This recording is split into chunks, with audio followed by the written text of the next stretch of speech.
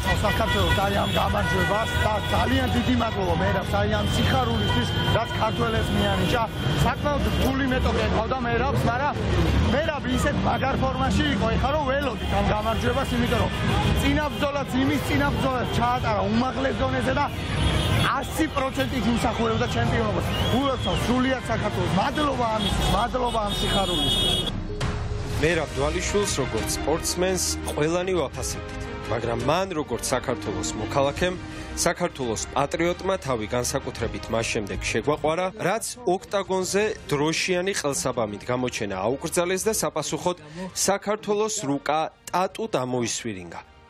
This is the map my country once again. ეს ჩემი ქვეყნის რუკაა, რომლის ნაწილიც რუსეთის მიერაა ოკუპირებული. თუ საქართველოს დაგუგლავთ, ასეთ გამოსახულებას ნახავთ, მაგრამ რუსეთის ოკუპაციის გამო ახლა ასეთი ქვეყანა გვაქვს. ეს ძალიან დიდი სულ მალევე კი რუსი პიოტრიანი დაამარცხა და გუნკერდით საქართველოს დროშა ააფრია. მისთვის არც ის იყო პრობლემა ჩვენი მოძმე უკრაინისტვის ღიად და დაუფარავად დაეჭირა მხარი. აუსრულებლად შეგვიძლია რუსეთის სისასტიკეზე საუბარი, კიდევ ერთხელ ამტკიცებენ რა სისხლიანები არიან დაუნდობლები, რა ადამიანურად ეპყრობიან და უკრაინას რაც ჩვენ უკვე გავუკეთეს ორჯერ 19 წელში და 2008 წელში. ჩემი ხარდაჭერა და ჩვენი ხარდაჭერა უკრაინას ჩვენს მეგობარ ქვეყანას. მერაბ დვალიშვილის ცხოვრება ისე განვითარდა როგორც ჰოლივუდური ფილმის დრამატურგი.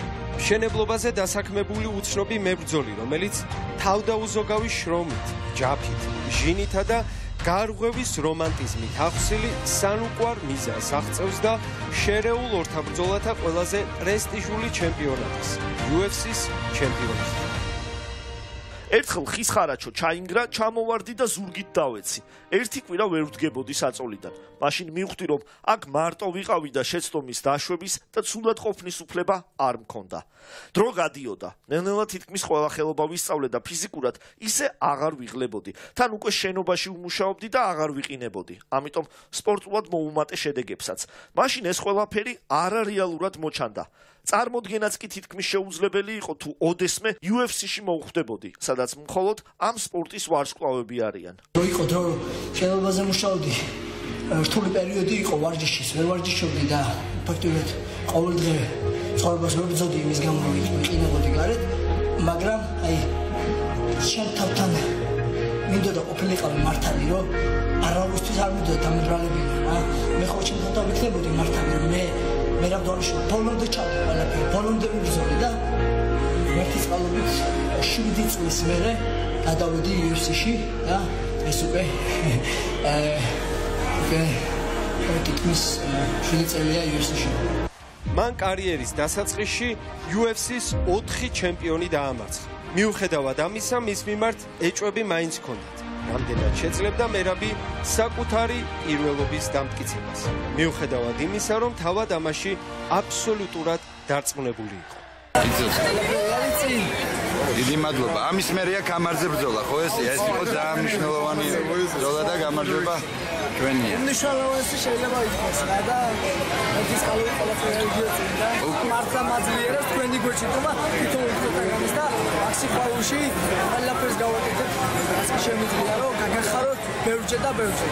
საბოლოოდ კი დღეს 2024 წლის 15 სექტემბერს მერაბ დვალიშვილი მის ზონაში საუკეთესო შედეგით წარსდგა და UFC-ს ვარსკვლავთან შონ ომალისთან ბრძოლაში ჩემპიონის ტიტული დამაჯერებლად მოიტანა.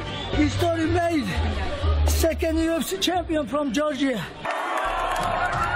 პირველ რიგში მერაბ დვალიშვილმა ამით გამარჯვებას მოწყურებული ქართველი ხალხი გაახარა. საკმაოდ რთული მეტოქე ყავდა, მაგრამ მიუხედავად ამისა, მე მჯეროდა მერაბის. ეჭვიც არ მეპარებოდა, რომ მერაბი გამოიმარჯვებდა და დიდი იმედი მაქვს თავის ტიტულს ძალიან დიდხანს დაიცავს. ეხლა თოფურიას ჯერია და რა ვიცი, უნდა ვიამაყოთ ქართველებმა და ეს ჩვენი დროა რა. ჩვენი ნაკრები, მერაბი, ილია უკვე ძალიან ბევრი კარგი ამბავი ხდება და უნდა გვიხაროდეს ქართველებს.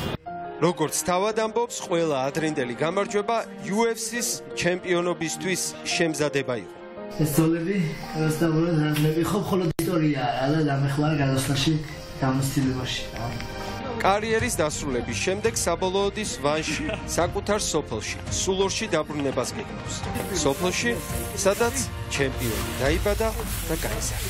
დამჭირდა კიდე წასულიყავი სხვა ქვეყანაში და ესე ვარ, მაგრამ ალბათ აუცილებლად ამ ყველაფერს როცა მორჩები და უკვე ასაკში ვიქნები, აუცილებლად დაბრუნდები სოფელში და ვეცდები რომ კონდეს ხეხილი, მყავდეს ცხოველები, ქალაქის ცხოვრება ნაღდათ მირჩენია ეს. მანამ ახალგაზრდა ვარ, მინდა მაქსიმუმი გავაკეთო ჯერ სპორტში და მე კარიერულად და მე საცხოვრებლად მინდა სოფელი. ხო.